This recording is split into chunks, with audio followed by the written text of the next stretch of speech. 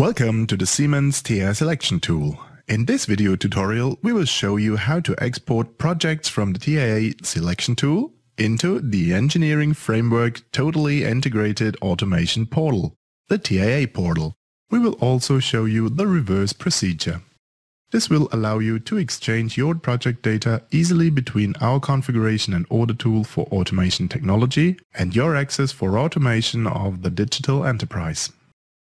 We start in the project view with a small sample project.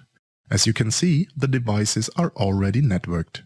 The export to the TIA portal or electrical planning systems uses the open standard automation ML format. Select a storage location for the export file. By the way, you can also start the export from the portal view.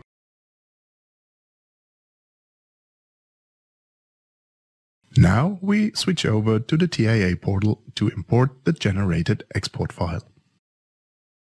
For this, select Import CAX data in the project view under Tools and select the corresponding file.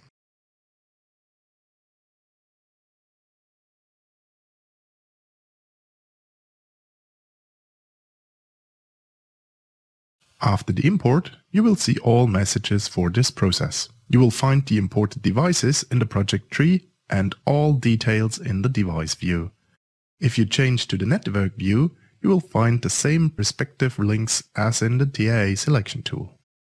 Now we expand our project quickly by copying the SIMATIC ET200SP. We delete the AS interface and connect via Profinet to the second Profinet interface of our SIMATIC S7 1500 controller. Now the reverse procedure. We export our expanded project. Again, Automation ML is our XML-based exchange format. After completion, we are informed about the status of the export.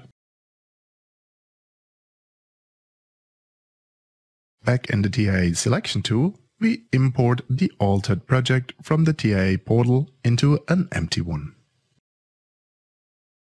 The summary includes all corresponding devices and accessories.